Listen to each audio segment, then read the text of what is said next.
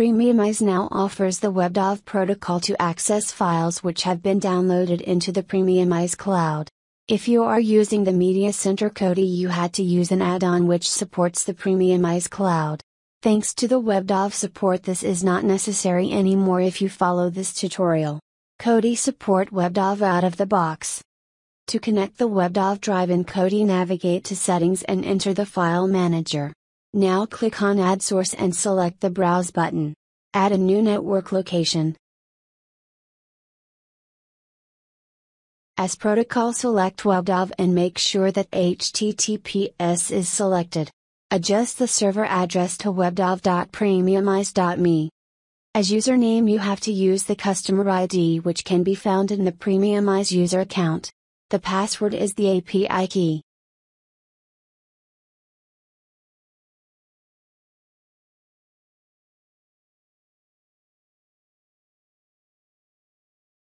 The network location is now permanently available and you can give it a custom name.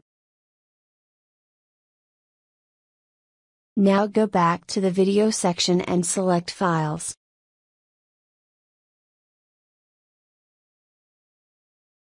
Now click on add videos.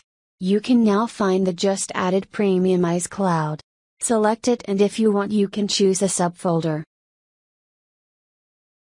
You can again give it a custom name. Kodi is now able to integrate the files on your Premiumize cloud into its library if you want to. You can select which type of media files are in this folder.